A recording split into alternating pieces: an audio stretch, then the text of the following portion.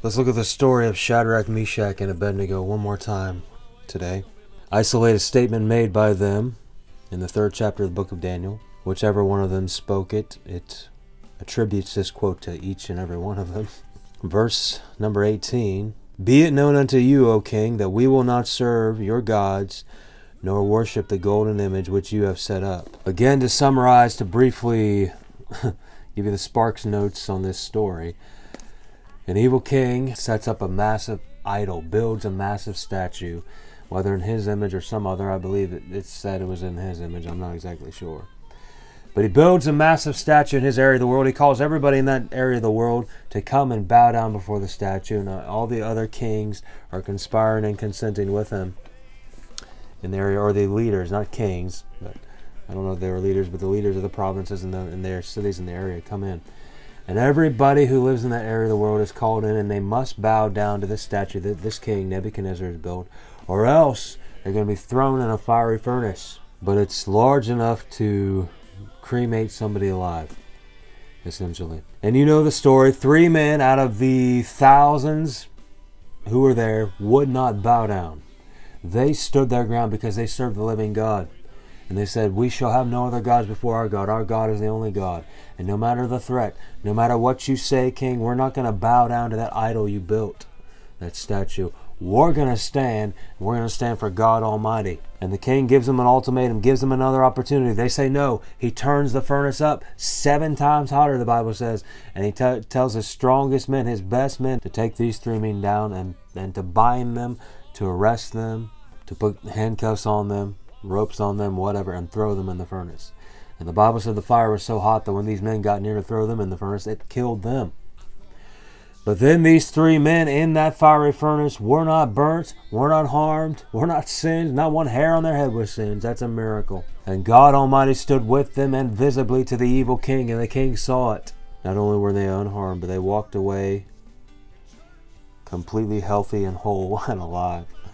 They should have been killed. I want to consider the absolute insanity of all this, though. I mean, can you imagine these guys telling their story? can you imagine them telling their story to somebody? uh, I mean, to, to individuals who weren't there, maybe, maybe their grandkids, maybe just people who heard about it. Someone asked them, What's the most interesting thing that happened to you? Oh, I was arrested and convicted to capital punishment. What did you do? Oh, I wouldn't bow down to a statue. That's what I did. Can you imagine them describing and explaining to anybody with any sense of reason and common sense what exactly their crime was that had them punished, convicted with the death penalty? They didn't kill anybody. They didn't steal. They didn't commit any felonies. what they did was to stand up in defiance of an evil king, a dictator. And I can hear somebody asking, "Oh, you're joking."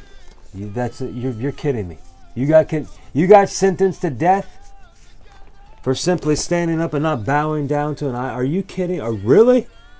Really? Really? I mean, their infraction here, their crime is so novel, so trivial. In the realm of common sense and logic, you get sentenced to death because you wouldn't fall on your knees before a statue? Are you kidding me? But friend, in reality, this is the ultimate crime in this world. Historically, it's been the crime every tyrant has enacted. The crime of independence, of defiance, and of servanthood to God and God alone. Worship God alone. I'll worship only at the feet of Jesus. His cup alone, my holy grail. There'll be no other gods before me.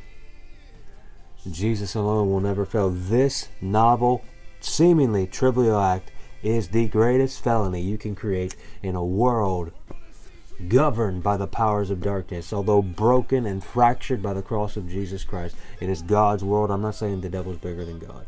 But the system of this world is darkness. The system of this world is governed by the kingdom of darkness. The system of this world is evil. It is sin and the prince of the power of the air roams to and fro, seeking whom he may devour, that he may steal, kill, and destroy. And he demands and commands total and complete submission to him. And the primary, premier infraction and crime anybody can commit would be to commit their all, their worship, their will to the God of heaven, the Lord of the hill. You commit your will to the Lord of the hill. You're going to infuriate the fury and wrath of the one who looks to steal and kill and destroy because you serve the Lord of the hill. The earth is the Lord's and the fullness thereof. This is the greatest crime you commit, and historically it has even been evidenced in tyrants who are ruled by the kingdom of darkness that rules the system of this world. Love not the world, neither the things of this world. For if any man love the world, the love of the Father is not in him. And the worst thing you can do is not submit to the intimidation and threat of the kingdom of darkness. Lucifer. And that's what he wants out of every one of us. Bow before me, worship me. He took Jesus to the desert. Worship me. Worship me. I'll make your life easy if you worship me. Don't defy me. Don't stand against me. Worship me. Jesus said, It is written. It is written. you shall serve the Lord your God. Only him alone you shall worship. I'm not going to bow before you. And guess what? The devil set his eyes against Jesus Christ and he opposed him vehemently, violently, even unto the cross and to his own destruction and demise. He didn't know he was dealing with the fourth man himself. well, he might have known. But the Bible says, had they known, they wouldn't have crucified him. If he knew what the cross was going to do to him, he would have never led the Lord Jesus to it thinking he was going to be victorious. But the cross was his victory. The cross was our victory. Because he satisfied the wrath of God by his shed blood. He was our sacrifice. But one way you could you could surmise this, I mean, friend, you don't have to do much. All they did was stand. And that's all you have to do to infuriate hell and to, to trigger the nerve of the evil of this world. Just stand. Just don't submit. Just serve God. I've experienced this myself. I'm not being harsh or critical. I love people who've done evil, but I've experienced the evil and corruption of this world where you don't have to do anything wrong technically. You just have to stand. What little I went through, I guess technically we committed an infraction, but I, I endured, and I've told people this story. I endured persecution and imprisonment for doing nothing. My crime was wearing the wrong political hat, and you could surmise my crime too. I stood. I stood against corruption that, that stole. I stood against corruption that lied. I stood against corruption that has killed. I stood up for God and truth and for the sovereignty of the American people in a republic that was violated their will. I stood and I said, We love you, but this is wrong. This is evil. The people are the power in America. I stood for God. I stood for the right things. I stood against abortion. I stood against sodomy. I stood against sin. I stood for liberty. I stood for the blood of the many brave men and women who have died for the liberty of this nation, that it not be corrupted and compromised and stolen. I stood up because what I have was freely given. And I told somebody, they said, What were you doing in a federal institution? I said, Oh, I wore a hat. And we were basically forced to confess crime, and if we did commit some kind of crime, I don't know. Technically, I guess you're not supposed to wear a hat. you're not supposed, but that was my crime. Wearing a political hat in, in the United States Capitol. Wow. Surmise as standing, and I stood against evil and corruption. And it lashed out and it lashed back and so vehemently and violently that that you you did something that is lower than a traffic violation. A, a low misdemeanor. They punish you as if you committed a felony. And I told somebody, they asked me, what, what, what did you do? I said, my crime was I wore a political hat at a political rally and entered a building I was allowed into lawfully and legally. Really? what? My friend, that's all you have to do. That's all you have to do. And I, I went to, to the, the the arena of my great crime and I said, you know what, if I did something wrong, I apologize. But I don't think I really did. I said that, you know, I was coached. You, you got to say this. you got to say this or else they're going to punish you even worse. And I did it in hoping, you know, to be honest, to be true at the same time while apologizing for any ignorance I did. But I, I honestly don't believe I did anything other than hit a nerve of evil that demands submission and defies and seeks to destroy all who stand against it. All I did was stand. I didn't say a word, really. I didn't. I didn't do anything. I didn't touch anything. I, I, I touched a man and prayed for him. Touched a man and told him, "Thank you for your service, a police officer." You can see this though, friend, even in, in consider Donald Trump. God love him. He hasn't done anything wrong, but he was loved, celebrated. But the moment he stood, the moment he stood above the crowd and he wouldn't bow and kneel the rest of them. Oh, we're coming against you. And they tried to put him in prison, and he did spend a, a minute or two in prison. he had a mugshot. And then they try to take his life. What has he done? Wear the wrong hat. Stand. And all hell's coming against you. Just don't bow in submission with the rest of them. That's your crime, and friend. That's the greatest crime you commit in this world because it defies the powers of darkness. It will not submit to corruption and evil. And evil is going to unleash all the, the, the evil bears against you. This is the devil's rendition here in Daniel chapter 3 of hell. He builds a fire. Think about it. He's doing what God does. God created hell for the devil and his angels. The devil is a Copycat, he has nothing original. He plagiarizes God and everything he does, and he takes what God does and perverts and plagiarizes it by perversion. This is his rendition of hell. He builds a fiery furnace. God created hell, a burning fire for the devil and his angels, and for all who disobey and defy him. God created hell. And in the end, every soul who dies in sin is cast to hell. Every soul who will not bow the knee to Jesus Christ is cast to hell. The devil builds an idol. No doubt he's in it. He won't show himself many times. He's starting. He comes out the stronger he gets. But the devil hides himself in his camouflage until he gains strength. You're seeing it now in society. He was cloaked. He was covered. He was camouflaged for many decades. Now he's coming out for worship. And the devil, this statue may have been built in Nebuchadnezzar's image or whatever image it was built in, but it is a, a statue in which Satan himself is personified. And he wants worship, and he seeks worship and obedience and submission to him. And then he builds a fire and says, Okay, I'm God. You don't worship me just like God does. I'm going to do what God does. And he wants to take the, the God followers, the Christians, and throw them in his hell. And throw them in his hell. He creates a hell. It's his rendition, and he says, Violate my command, disobey what I say, you're going to burn. And historically, like I said, this is what tyrants do because the devil's in them using them. And all you have to do, you don't have to kill somebody to, to, to earn capital punishment when corrupt men rule. You want to know how to identify corruption politically? This is a king here we're speaking of. All you have to do is stand against them, and they'll come after you. They defy your right, conflicting opinion, of opposing viewpoint. They cannot have it. Freedom of speech, oh, they censor. They suppress. We're dealing with tyrants here. We're dealing with tyrants here in this world again. Look at all the evidence, and all you have to do is stand against them. All you have to do is say what they're doing is wrong.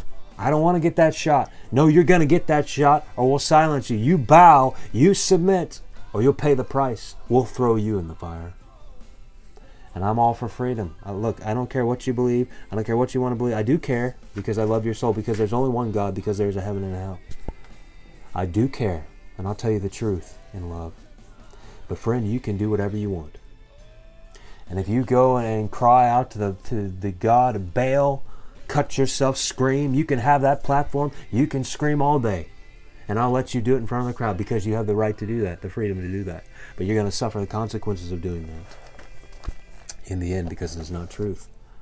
But I love you and you can scream all day. You can say whatever you want.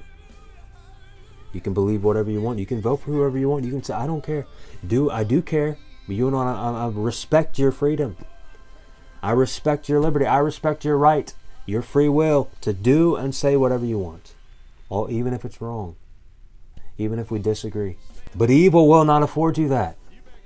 Evil will not. You submit or you burn.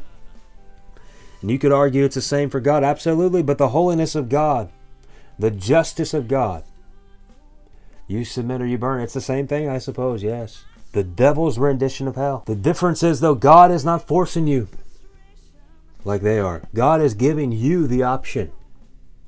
God says, choose you this day who you will serve. God lays it out. God says, okay, there's hell, and I'm holy. I can't have sin in my heaven. I love you. I'm asking you, I'm begging you, I'm going to move again and again. I'm going to send preachers, I'm going to send prophets, I'm going to send evangelists, apostles. I'm going to send prayer warriors, I'm going to send witnesses. I'm going to send my spirit again and again and again. I'm going to send my only son to die on the cross for you. Surely you'll hear him. God says, Please choose me. Look, it's hell. I'm holy. I'm perfectly just. I can't allow sin into my heaven. If you reject me, you'll go to hell. I will not force myself upon you. You can choose who you will.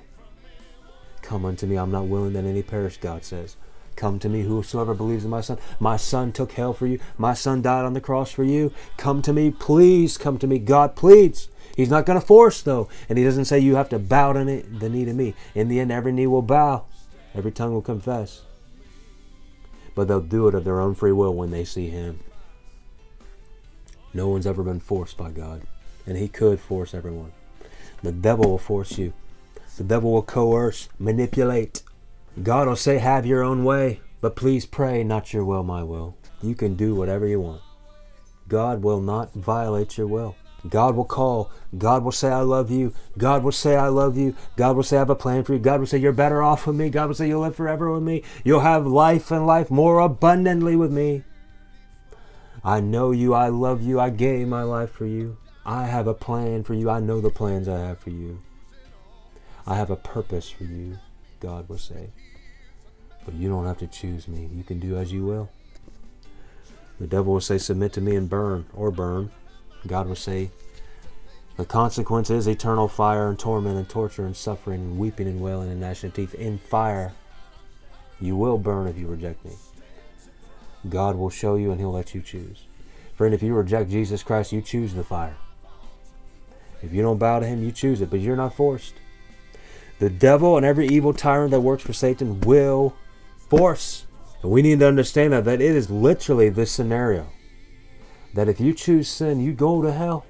If you cower with the crowd, look, it's it's either you could say this way: you either burn now by the devil's fire, you burn forever in God's fire of judgment. The devil forces, intimidates, and you could argue via persecution, trials, and tribulations, scorches even those who follow him. And as a Christian, it is either you choose, you could interpret this scenario, even though it's not literal in everybody's life in every scenario. But you either you choose the fire now in persecution and trials and tribulations on a fight of faith to eternal life in heaven, or you choose to burn, then that's literally the scenario you could say. We don't take these things seriously enough. Look, whoever sins is going to hell. That doesn't mean you don't you don't fail every day in Christ. You fail some way daily. You're not perfect. But if you fornicate, you're a practicing fornicator, a practicing adulterer, a practicing homosexual, a practicing transgender, if you kill, if you lie, if you're a practicing drunkard, what does the Bible say? Not what I say. I didn't make the rules. I didn't create this world. What does the Bible say? If you practice these sins, you're going to hell. It's that serious. And you have Christians today, the Bible said forbidding to marry, living together without the, the godly covenant of marriage divorcing, committing adultery, and divorce, thank God there's forgiveness for that. And, and many times it's necessary. And God can heal it. I'm not saying, you know, you're going to hell if you've been divorced. That's not, not what I'm saying. I'm just saying the covenant of marriage is taken so lightly. Fornication, adultery, drunkenness. And people are laughing it all off and taking it so slightly and bowing down, not understanding that these things will lead you to eternal hell. The Bible says it. It is literally that serious. You may think, oh, I've lived well for so many days. I serve God. I love Him. He won't mind just a little bit of failure here. That little bit of failure could lead you to eternal hell. It is literally that serious. It is literally the scenario. You can bow with the world, do what everybody else is doing, and not suffer the consequences of the evil king of this world. But you'll burn in eternal fire. Or you can choose the heat now. You live a holy life. You try to live a holy life. You're sanctified. You're justified. Say, Lord, I'm not perfect. I'm going to fail every day, but I'm not going to commit fornication. I'm not going to commit adultery. I'm going to do my best, Lord, to live for you. I'm not going to cast my pearls before the swine. God, I'm going to serve you with my, my heart. I bow only at your feet. I worship only at the feet of Jesus. I'll suffer the consequences. I'll stand. That's all you have to do. That's really all God is requiring. Stand. Stand. That's going to get you in trouble with the kingdom of darkness because you're going to stand out when you stand up. That's going to bring persecution your way. You're going to become a lightning rod for the fire of this world, for the heat of this world. But that's all you have to do. Stand. Paul said, having done all, stand. What does it mean to stand? Stand means you you're unashamed. You proclaim. You you could surmise many things in a, a singular direct definition of that word biblically. Stand. It means, among all that it means, we'll give two two potential definitions of it, two definite definitions out of what all could mean scripturally. To stand means you make it known who you are. I'm unashamed. I'm not ashamed of the gospel. I'm a Christian.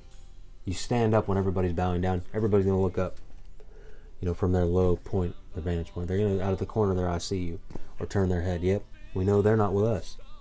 So you say, I'm not with this world. I'm a Christian. I'm a Christian. I'm standing.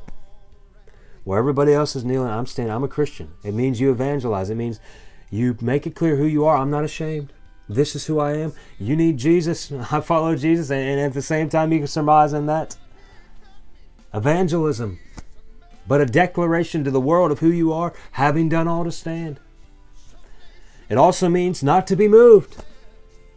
To stand, it means you are where you are and you're staying where you are. Your mind is fixed. You're not double minded, committed. The world is so double minded and unfaithful in these last days.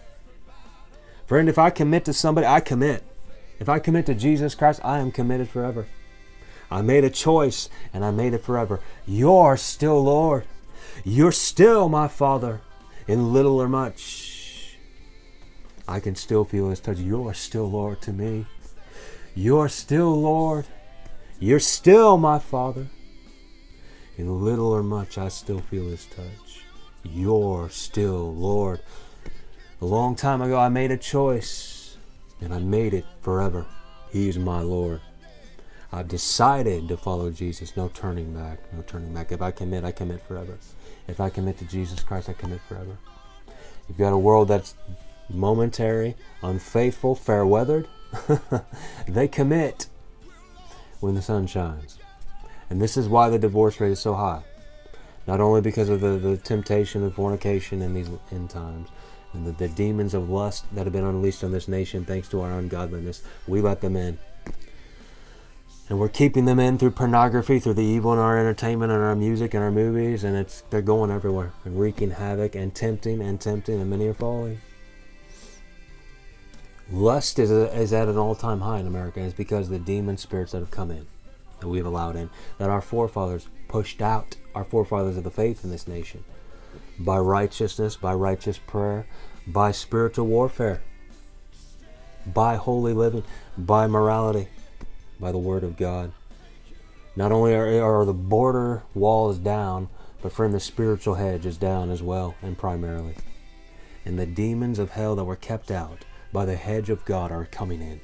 And they're tempting and tempting, and many are falling. But to stand, you're saying, This is who I am. And this is where I'm staying, no matter what. Bring on the heat. Bring on the fire. This is my hat. Look at my hat. This is what I stand for. And that's what's going to get you in trouble. That's what's going to bring hell against you. This is what I stand for. That's your great crime.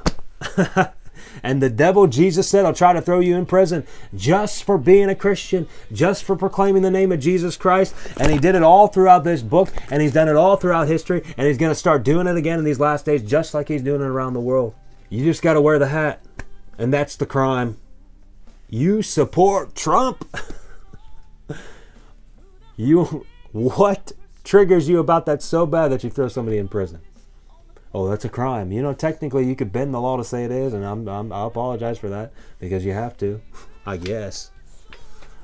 But I don't apologize for standing against evil and corruption and those who steal and kill and destroy. Ultimately, the devil himself. I pray for you. I love you. I don't hate anybody. But I don't apologize for standing up for truth against that which is wrong. And nobody should. Should Shadrach, Meshach, and Abednego apologize? No. What great crime is this? You got people, I mean, thank God they're doing what they're doing to sex trafficking, whatever. I think it's a big distraction. I, I don't know what they're distracting from, but some something when they, you know, when they come after evil. I mean, there's evil everywhere. Thankfully, they're cutting down and coming against sex traffickers and such, seemingly. You never know. If it makes the news, you know, you, you wonder why. Because there's so much else going on. And the corruption is so deep. But we pray that God changes their hearts. But thank God they're doing that. But friend, there's things going on in this world. People committing legitimate crimes. And you're seeing as the tyranny arises and the Antichrist arises, that it's the people who stand are, that are being incriminated, that are being demonized. For the great crime of speaking truth. And that's the way it's been through all history. Going all the way back to Nebuchadnezzar's evil empire. You wouldn't submit to me. And that is such a novel, trivial thing. Just like, like I compared to illustrate, I wore a hat in the building, I got thrown in jail for it. What? we didn't break in. And the, the, judge, I think he was a nice guy. I don't know. I, I don't know what his motivations were. But I respect him. I don't have anything evil to say about anybody, but I mean, man, wow. and then two years probation, then 100 hours community service, and everything else that I've been through. Man. that's all you have to do. It's novel, it's trivial, but it's the greatest crime you can commit. When you're dealing with evil, is to oppose them and to not submit, to be independent and to be dependent upon God. These three wouldn't bow a knee, and that, that gets them capital punishment. That is insanity. What'd you guys do? You, you would get sentenced to capital punishment? Oh, yeah, we wouldn't bow down to a statue the king built. Are you serious? what? Well, that's the way it is. But, friend, Jesus said, Blessed are you who are persecuted. And he said, If you lose these things, if you endure these things, I'll give you a hundred times more in this life and then in eternal life. And great is your reward, and the sufferings of this life are not worthy to be compared to the glory that should be revealed. And stand your ground, friend. Stand up for something. Don't live a compromised coward over life. Stand for life. Stand for God. Stand for truth. Stand for something. Do something with your life. We're all going to leave this world eventually. Regardless of the threat, I'd rather leave it on my feet than on my knees. Lord, I'll stand for you. We will stand. Regardless of the threats, regardless of the potential persecution. I'd rather stand for Jesus than bow at the feet of evil and suffer the consequences now and reap the reward then. Great is your reward. The reward's so great. The real king is coming back. It's not a leader, it's not a president. We pray for the right president, and I support and will vote for the right man who's running for president. But we don't bow to the knees of evil. We stand up for God. I bow only for Jesus Christ. And at the name of Jesus, every knee will bow. He is the king, and the king is coming back, and the king is going to rule this world. You can bow before an evil tyrant who might rule this world for a few years and succumb to the intimidation and pressure. But friend, when he comes, and he's going to rule forever, and his empire is going to rule the whole world from Israel forever. And Israel will dominate the world forever. Some people don't like Israel. I'm sorry. That's going to be the only nation left standing in the end. Look at every nation, even this nation, how great it is and how it's struggling right now for its very existence. This one's still there. This one will be there forever because it's God's nation. Oh, I love America with all my heart. I stand up for America. But in the end, the king will reign from Jerusalem, the new Jerusalem. And Israel will be the last empire standing. You may not like that. They're not committing genocide. They're defending themselves. War is war. Someone committed an act of war against them. God forbid, God have mercy, but the world is turning on them. But it's all going to lead to their greatest victory and their greatest hour when they finally say, King Jesus, you are Messiah. When the false Messiah turns on them and betrays them and tries to commit legitimate genocide against them. No doubt he's a student of the anti Israeli propaganda going on in the world right now. And he's probably the, the master teacher. But Jesus is coming. Serve him. He'll rule this world forever and ever with power, with glory. It's better to suffer the consequences now by allegiance to the king who will rule forever than to serve a king who will succumb to the king and then be conquered by the king who will rule forever. Think about it, common sense. Stand for something. Don't let your life be wasted. Jesus loves you. He died for you. He stood for you. He went to the cross for you. He'll take your sins away. Stand fast in the liberty. Jesus loves you. We're not promised tomorrow. He could come at any moment. Trust in Him now. Stand up for Him. Don't cower. Don't bend or bow to evil. Bow and worship only at the feet of Jesus and stand. Do something with your life that counts. Stand for something. Don't join the crowd. Stand independently, individually, for the one man who stood for you versus all of hell. Jesus loves you. Stand up for him.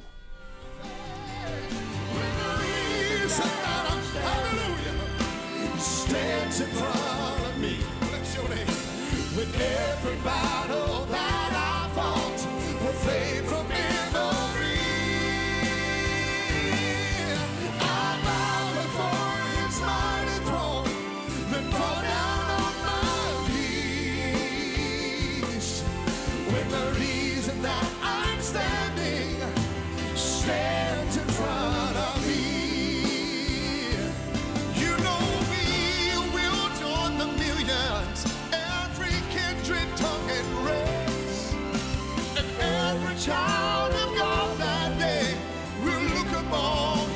despair.